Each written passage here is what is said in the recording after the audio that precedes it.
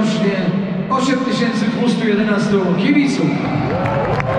Gratulujemy serdecznie.